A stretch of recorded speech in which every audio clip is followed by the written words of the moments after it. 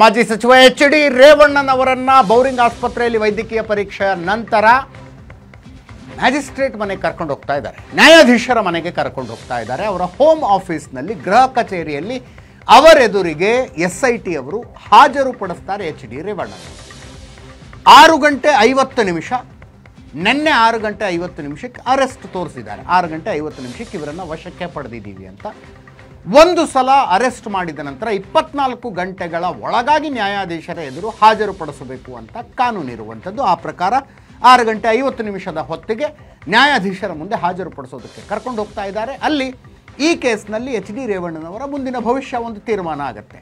ಇವತ್ತು ರಾತ್ರಿ ಜೈಲಲ್ಲಿರಬೇಕಾಗತ್ತಾ ಇವತ್ತು ರಾತ್ರಿ ಎಸ್ ಐ ಟಿ ಆಫೀಸ್ನಲ್ಲಿರಬೇಕಾಗತ್ತಾ ಅಥವಾ rarest of the rare case ಅಪರೂಪದಲ್ಲೇ ಅಪರೂಪ?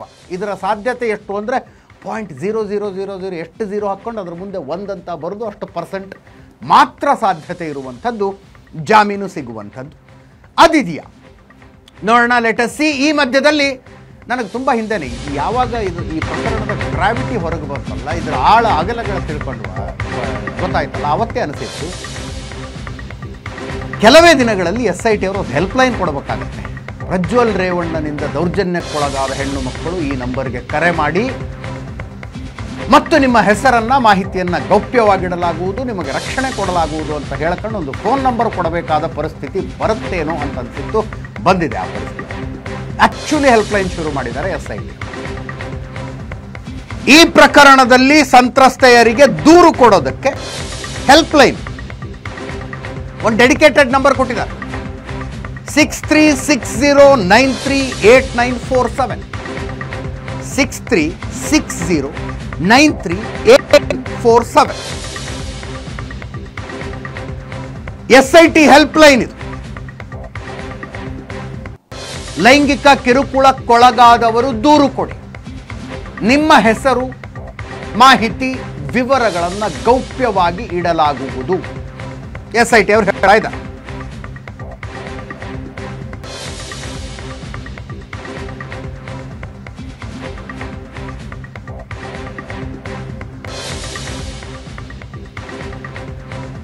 ಕೆಲವೇ ಕ್ಷಣಗಳಲ್ಲಿ ರೇವಣ್ಣನವರನ್ನು ನ್ಯಾಯಾಧೀಶರ ಎದುರು ಪ್ರೊಡ್ಯೂಸ್ ಮಾಡಲಾಗಿದೆ. ಪ್ರಜ್ವಲ್ ವಾಪಸ್ ಬರಬೇಕು. ಇವತ್ತು ಬರ್ತಾರೆ, ಇನ್ನೊಂದು ಸ್ವಲ್ಪ ಹೊತ್ತಿಗೆ ಬರ್ತಾರೆ, ಇಲ್ಲ ನಾಳೆ ಬರ್ತಾರೆ, ಈ ರೀತಿಯಾದ ಚರ್ಚೆಗಳಿದೆ. ಮತ್ತೊಮ್ಮೆ ನನ್ನ ಕೊಲ್ಲಿಗೆ ಪ್ರಶಾಂತ್ ನನ್ನನ್ನು ಜಾಯ್ನ್ ಆಗಿದ್ದಾರೆ. ಪ್ರಶಾಂತ್ ಎಲೆಕ್ಷನ್ನನ್ನಷ್ಟೇ ಗಮನದಲ್ಲಿಟ್ಕೊಂಡು ನೋಡೋದಾದರೆ ನಾವು ಸುಮಾರು ಕ್ಷೇತ್ರಗಳಿಗೆ ಸುತ್ತಾಡಿದ್ವಿ ಕೆಲವು ದಿನಗಳಿಂದ.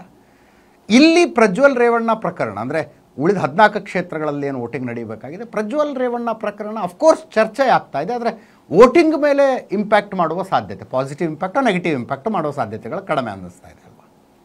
ಅದೇ ನೋಡಿ ಇಂಥ ಪ್ರಕರಣಗಳು ಕ್ಷೇತ್ರ ಅಂದರೆ ಪ್ರಜ್ವಲ್ ರೇವಣ್ಣ ಏನು ಇಡೀ ರಾಜ್ಯದ ನಾಯಕ ಅಲ್ಲ ದೇವೇಗೌಡರ ಮೊಮ್ಮಗ ಅನ್ನುವ ಕಾರಣದಿಂದ ಹೆಚ್ಚು ಚರ್ಚೆ ಆಗ್ತಿರೋದು ಬಿಟ್ಟರೆ ಎಸ್ ಪ್ರಜ್ವಲ್ ರೇವಣ್ಣ ಇನ್ನು ಒನ್ ಟರ್ಮ್ ಹಾಸನದಲ್ಲಿ ಎಂ ಪಿ ಆಗಿದ್ದವರು. ಅವರ ತಂದೆ ಎಚ್ ಡಿ ರೇವಣ್ಣ, ದೇವೇಗೌಡರ ಮಗ ಆದರೂ ಕೂಡ ಕುಮಾರಸ್ವಾಮಿಗಿರ್ತಕ್ಕಂಥ ಜನಪ್ರಿಯತೆ ರೇವಣ್ಣ ಅವ್ರಿಗಿಲ್ಲ ಹಾಸನಕ್ಕೆ ಸೀಮಿತವಾಗಿ ಪಾಲಿಟಿಕ್ಸ್ ಮಾಡ್ತಾರೆ. ಪ್ರಜ್ವಲ್ ರೇವಣ್ಣ ಅವರ ಪ್ರಕರಣ ಮೇನ್ ಸ್ಟ್ರೀಮ್ ಮಾಧ್ಯಮಗಳು ಸೋಷಿಯಲ್ ಮೀಡಿಯಾದಲ್ಲಿ ದೊಡ್ಡ ಮಟ್ಟದಲ್ಲಿ ಚರ್ಚೆ ಆಗ್ತಾ ಇದೆ. ಕಾಂಗ್ರೆಸ್ ಕೂಡ ಇದನ್ನು ಬ್ರೌನಿ ಪಾಯಿಂಟಾಗಿ ಉಪಯೋಗಿಸ್ಕೊಳ್ತಾ ಇದೆ. ಬಿ ಜೆ ಪಿ ಒಂದು ಇಕ್ವಿ ಡಿಸ್ಟೆನ್ಸನ್ನು ನಾವು ಮೇಂಟೈನ್ ಮಾಡ್ತಾ ಇದ್ದೀವಿ. ನಮಗೂ ಪ್ರಜ್ವಲ್ಗೆ ಏನು ಸಂಬಂಧ ಅಂತಕ್ಕಂಥದ್ದನ್ನು ಹೇಳ್ತಾ ಇವೆ. ಜೆ ಡಿ ಎಸ್ನಲ್ಲಿ ಕುಮಾರಸ್ವಾಮಿ ಕೂಡ ನನಗೂ ಆ ಕುಟುಂಬಕ್ಕೂ ಸಂಬಂಧ ಇಲ್ಲ ಅದು ಅವ್ರ ಕುಟುಂಬದ ಪ್ರಶ್ನೆ ಅಂತಕ್ಕಂಥದ್ದನ್ನು ಹೇಳಿಬಿಟ್ಟಿದ್ದಾರೆ.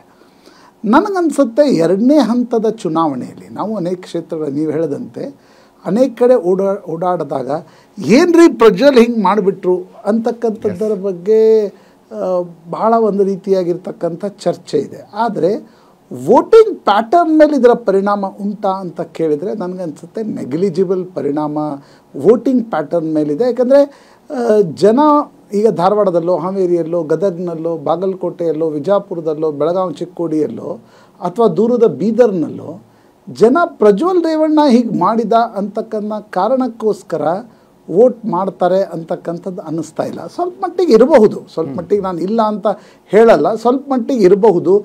ಬಿ ಜೆ ಪಿ ಒಂದು ಸಣ್ಣ ರೀತಿಯ ಬ್ಯಾಕ್ ಫುಟ್ಟಲ್ಲಿತ್ತು ಮೊದಲ ಒಂದೆರಡು ಮೂರು ದಿನ. ಜೆ ಡಿ ಎಸ್ ಮುಂದೇನು ಅಂತಕ್ಕಂಥ ಪ್ರಶ್ನೆಯಲ್ಲಿದೆ. ಆದರೆ ದೊಡ್ಡ ಮಟ್ಟದ ಪರಿಣಾಮ ಎರಡನೇ ಹಂತದಲ್ಲಿ ಆಗಲಿಕ್ಕಿಲ್ಲ ಮೊದಲನೇ ಹಂತದಲ್ಲಿ ನೋಡ್ಲಿಕ್ಕೆ ಸಿಕ್ಕರೆ ಹಾಸನದಲ್ಲಿ ಇದರ ಪರಿಣಾಮ ಏನು ಅಂತಕ್ಕಂಥದ್ದು ಬ- ಬಗ್ಗೆ. ಅತಿ ಹೆಚ್ಚು ಕುತೂಹಲ ಇದೆ. ಮತ್ತು ಇಂಥ ವಿಚಾರಗಳು ಅನೇಕ ಬಾರಿ ಅಜಿತ್. ಅದು ಸಾರ್ವಜನಿಕ ಚರ್ಚೆ ಆಗುವಾಗ ನಿಷ್ಕರ್ಷೆ ಬೇರೆ ಇರುತ್ತೆ. ವೈಯಕ್ತಿಕ ಮಟ್ಟದಲ್ಲಿ ಚರ್ಚೆ ಆಗುವಾಗ ನಿಷ್ಕರ್ಷೆ ನಿಶ್ಚಿತವಾಗಿ ಬೇರೆ ಇರುತ್ತೆ. ಹೀಗಾಗಿ ಇದರ ಇಂಪ್ಯಾಕ್ಟ್ ಪಾಲಿಟಿಕಲಿ ಏನು? ಈಗ ಜಾರಕಿಹೊಳಿ ಅವರದು ಈ ರೀತಿಯ ಒಂದು ಪ್ರಕರಣ ಬಂದಿತ್ತು. ಗೋಕಾಕ್ನಲ್ಲಿ ಇದರ ಇಫೆಕ್ಟ್ ಏನಿತ್ತು? ಲಕ್ಷ್ಮಣ್ ಸೌದಿ ಮತ್ತು ಸಿ ಸಿ ಪಾಟೀಲ್ ಸದನದಲ್ಲಿ ಏನೋ ನೋಡಿದ್ರು ಅಂತಕ್ಕಂಥದ್ರ ಬಗ್ಗೆ ಚರ್ಚೆ ಆಯಿತು.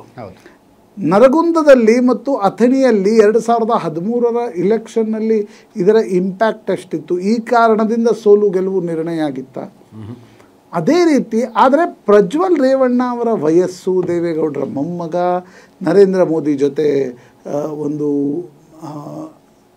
ಟೈಅಪ್ ಆ ಕಾರಣದಿಂದ ಅತಿ ಹೆಚ್ಚು ಚರ್ಚೆ ಆಗ್ತಾ ಇದೆ ನಿಜ. ಆದರೆ ಬೇರೆ ಕ್ಷೇತ್ರಗಳಲ್ಲಿ ಸ್ಪಿಲ್ ಓವರ್ ಮಾಡುವ ಕೆಪಾಸಿಟಿ ಇದಕ್ಕಿದೆ ಅಂತ ಅದರ ಜೊತೆಗೆ ಇದ್ರೆ ಎನಾರ್ಮಿಟಿ ಪ್ರಜ್ವಲ್ ರೇವಣ್ಣಂದು ಏನೋ ಒಂದು ಯಾವುದೋ ಒಂದು ಅಫೇರು ಇಬ್ಬರು ಮೂರು ಜನ ಯಾವುದೋ ಹುಡುಗಿಯರ ಜೊತೆಗಿಂದು ಒಂದು ವಿಡಿಯೋ ಬಂದಿದೆ. ಹಾಗಾಗಿದ್ರೆ ಅದಷ್ಟು ದೊಡ್ಡ ಮಟ್ಟದಲ್ಲಿ ಏನೋ ಚರ್ಚೆ ಆಗ್ತಿರ್ಲಿಲ್ವೇನೋ. ಜನ ಇದ್ರ ಬಗ್ಗೆ ಒಂದು ಸ್ವಲ್ಪ ಏನು ವಿಶಾಲ ಹೃದಯಗಳಾಗಿದ್ದಾರೇನ ಇಂಥ ಈ ರೀತಿಯಾದಂಥ ಸೆಕ್ಸ್ ಸ್ಕ್ಯಾಂಡಲ್ಗಳ ಬಗ್ಗೆ. ಆದರೆ ಪ್ರಜ್ವಲ್ ರೇವಣ್ಣಂದು ಎನಾರ್ಮಿಟಿ ಇದೆಯಲ್ಲ ಗ್ರಾವಿಟಿ ಇದೆಯಲ್ಲ. ದಟ್ ಈಸ್ ಹ್ಯೂಜ್ ಥಿಂಗ್ ಅಂತ. ಅಲ್ಲ ಅಂದ್ರೆ ಈ ಕೆಲಸದವ್ರನ್ನ ಬಳಸ್ಕೊಳ್ತಕ್ಕ ಅಲ್ಲಿ ಏನಾಗಿದೆ ಹಾಸನದಲ್ಲಿ? ಈಗ ದೇವರ ದೇವರಾಜೇಗೌಡ ಅವರ ವೈಯಕ್ತಿಕ ಜೀವನ ಇದರಿಂದ ಇಂಪ್ಯಾಕ್ಟ್ ಆಗಿದೆ. ಹೀಗಾಗಿ ಬಿ ಜೆ ಪಿಯವರು ಎಷ್ಟೇ ಹೇಳಿದರೂ ಕೂಡ ದೇವರಾಜೇಗೌಡ ಯಾವುದೇ ಕಾರಣಕ್ಕೂ ಈ ವಿಷಯದಲ್ಲಿ ರಾಜಿ ಇಲ್ಲ ಅಂತಕ್ಕಂಥದ್ದನ್ನು ಸ್ಪಷ್ಟವಾಗಿ ಹೇಳಿದೆ ಅನೇಕರ ವೈಯಕ್ತಿಕ ಜೀವನಗಳ ಇಂಪ್ಯಾಕ್ಟ್ ಎಲ್ಲ ಹಾಸನದಲ್ಲಿ ಆಗಿವೆ. ಆ ಕಾರಣದಿಂದ ಈ ಪ್ರಕರಣ ಇದೇನಪ್ಪ ಇದೇನು ಮನುಷ್ಯರೋ ಅಥವಾ ಮೃಗಗಳು ಅನ್ನುವ ರೀತಿಯಲ್ಲಿ ಈ ವಿಷಯ ಚರ್ಚೆ ಆಗ್ತಾ ಇದೆ. ಐ ಆಮ್ ಶ್ಯೂರ್ ಅಂದರೆ ನನಗನ್ಸುತ್ತೆ ಅಜಿತ್ ಇವತ್ತೇನು ನಡೀತಾ ಇದೆ? ಇದು ಇಪ್ಪತ್ತೆರಡೋ ಇಪ್ಪತ್ತ್ಮೂರಕ್ಕೆ ನಡೆದಿದ್ರೆ ಮೊದಲನೇ ಹಂತದಲ್ಲಿ B J P J D S collapse ಆಗ್ಬಿಡ್ತಾ ಇತ್ತು ಕರೆಕ್ಟ್ ಇದು ಇಪ್ಪತ್ತೆರಡೋ ಇಪ್ಪತ್ತ್ಮೂರಕ್ಕೆ ನಡೆದಿದ್ರೆ ಇವತ್ತೇನು ನಡೀತಾ ಇದೆ?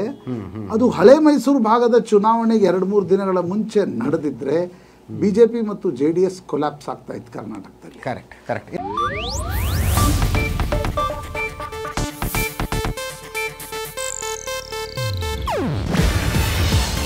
Asianet news network ಪ್ರಸ್ತುತಿ. ನೀವು ನೋಡ್ತಿದ್ದೀರಾ ಏಷ್ಯಾ ನೆಟ್ ಸುವರ್ಣ ನ್ಯೂಸ್.